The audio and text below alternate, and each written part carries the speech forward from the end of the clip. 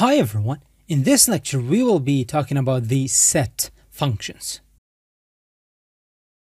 Set functions are one of the most commonly used functions with the order by clause. Set functions compute new values from e from column values and they use a set function in place of one of the columns in the select clause and pass the column name that the function has to be applied on to the function itself. Set functions are often used with the distinct qualifier. So the common set functions, the set functions that we will be looking at are the count, the max, the min, and the AVG and the sum. So I'm going to give you examples for all of them. Hopefully by the end of this lecture, if it is not going to get any long. So we are going to start with the count function and as we go over the example, I'm going to explain to you what it does. So first one is going to be the count uh, set function and I'm gonna, just going to pass it here. Now the count set function, it is going to return the number of rows per, for a particular column. Now, there are two cases here. If you pass in a star inside this count function, then uh, it is going to include null values for records as well. So let's say like the phone number that had null inside of it, it is going to count those as well. But if you pass in any specific column name, null values will not be included. So let's take a look at it in action. So I'm going to say select. We know that we are going to use the set function in, in, in like in the place or like as a replacement for any uh, where we write the column name for the select clause. So where do we write the column name? We write it right here. So I'm just going to write the count. And I'm going to pass in, uh, for, for, uh, uh, for the first example, I'm just going to pass in star. And then the what column uh, do we want this to be applied in? Then let's just go ahead. For now, I'm just going to grab the employees table. So I'm going to say from employees employees. There we go. So let's save that. Let's take a look at what this is going to return to us. So it returns, it did return to us 40. And where is the, where is it getting that number from?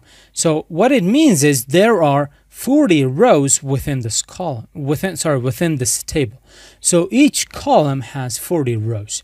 It, it included the null values as well. The reason for that is we used the star. But if you use any specific column name, it is not going to include those. For example, let me just grab that. Let me come down here. Let us uh, comment that part out. And let's say 37. Now, let's say I alias this as E.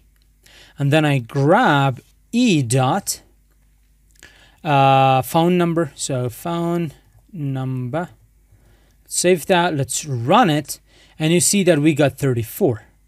Where are the rest of these six columns that we just got from this count? The reason that it did not include those six, six columns were because they're, they're null. That's why it doesn't include it. Whenever you grab any column name, specific column name, and you pass it within this count, it is not going to include null. Otherwise, it will include null. We can use this count or set function with the uh, we can use it with the where clause as well. So I'm just going to say example 37. Let's come down. Let's comment this part out. This is going to be example 38. So what if we want to grab the first name? So I'm going to say first name from this table where where um, e dot salary e dot salary is greater than oops greater than 1000 oh, sorry 10,000 so let's save that. Let's terminate this statement. Why did I not terminate these statements we need to terminate them. Okay let's run that. And we've gotten an error. Sala oh salary. Let's save that. Let's run it again. We got nine columns. So what it actually did what it actually did was it went into the salaries table and it looked for salaries which were greater than 10,000 uh, for, for rows which had the salary greater than 10,000. And then it counted them and returned the count, which is 9. We can, for example, take the take a look at the salary as well that we have, like salary. Let's just uh, save this from the employees. Let me just uh, grab grab it from there and comment and remove it from there. Oh, I need to put it outside the the count function. So I'm going to say e dot salary, but you have to keep this in mind that this is not going to return the salary first. It is just going to go ahead and count all the salaries which are above 10,000 and it is going to return it is how many thousands? It is 24,000. So 24,000 should be the highest salary that we have. Now you might be wondering why we provided first name. The reason for that is we asked this query to go into the employees table, grab all the salaries which are greater than 10,000 and count how many first name there are. Now, why is this different than let's say you would you could have passed in anything else here? The reason for that is what if any of these first names, they are null? Then they're not going to be included within the count. So uh, if I just go ahead and order these salaries, so click on it, you can see that the highest one is 24,000. And let me just grab this belongs to Steven King. Uh, we could just go ahead and grab it and um, uh, come on, buddy. I'm just going to say uh, we could delete this or we could set it to null okay let me just right click. Why isn't it working? Come on. So set field to null. Now you can see that it is null. So I'm just going to go ahead and I'm going to save it. So I'm going to close this. Hopefully we can save it. There is no foreign key relationship here. This is the uh, syntax that we could use to write here. There we go. Now if I run this it theoretically it should return only 8 if I run it you can see that you have an error in your SQL syntax. We have count first name, uh, salary, e dot salary, uh, employees e. Let's run it again. There we go. So technically, it returned 8, even though the highest salary belonged to that ninth per person that I just removed, that I just set to null, but it returned only 8 of them because we have specified the column name here. So that's all about the uh, count function. I did uh, dedicate a lot more time than I expected, than I decided or I, I had planned. So I'm just going to copy that down below. Uh, let me just comment this part out. The rest of them are going to be easier than this. Oh, I need to convert this to 9. The next one is going to be max. Now, max, what it does is it, it gives, okay, where am I? Right here. It gives the maximum value for a particular column. It requires the column name to be passed in, and it doesn't include any null values. So how does this actually work? Now, how can we modify this? I'm going to convert this uh, count to max, and I'm going to say e dot salary. So salary let me come and cut, cut this part from employees and I'm going to get rid of this uh, this clause that we have here. So it should return the maximum salary, which we know 24,000, right? There we go. It is max e dot salary 24,000. The min is going to do the complete opposite of this. It is going to return the minimum value for a column and null is not going to be a part of it. So min, it is 40. So e dot, let's just say min Let's save that. Let's comment this part out, save it, run it. So the minimum salary, if you want to find out or extract from your database what is the minimum salary of one of your of your employees, it is 2500.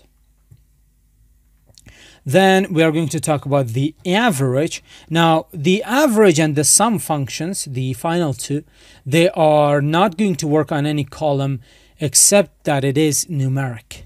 So the count, max, and min, they work on numeric columns, they work on uh, like textual columns or character, uh, like varying character columns. But these columns, these two, only work on numeric columns. So you need to keep that in mind as well.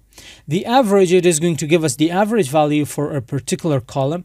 It, it, it requires the column name to be passed in, and it doesn't include uh, any null values. So how does it actually work? We got, this is min. I'm just going to copy this, comment this part out. Just come down here, put it there, and there we go. So this is going to be example 41 and it is average. It is just going to give us the average. So which column do we want to grab the average? For example, we want to grab the average salary of our employee, uh, employees. So I'm just going to pass in AVG. There we go. Let's save that. Let's run it. So the average salary of our all of our employees is 8,060. There we go. Now you can see that we have a lot of decimal points. And now we do have uh, another function that we can use and that is going to round this figure up for us.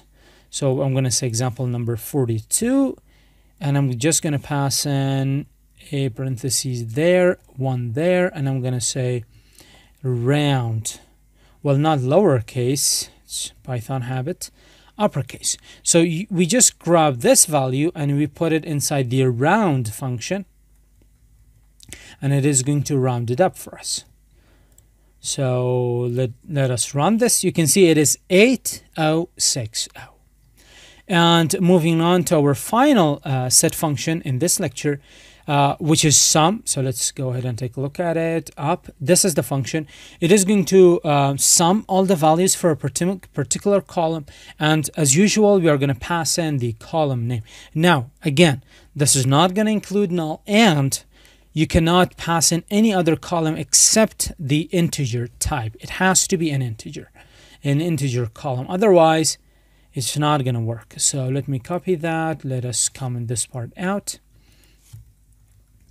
Coming down here. So instead of, uh, we, we have here round and uh, AVG, I'm just going to get rid of this and I'm going to say sum.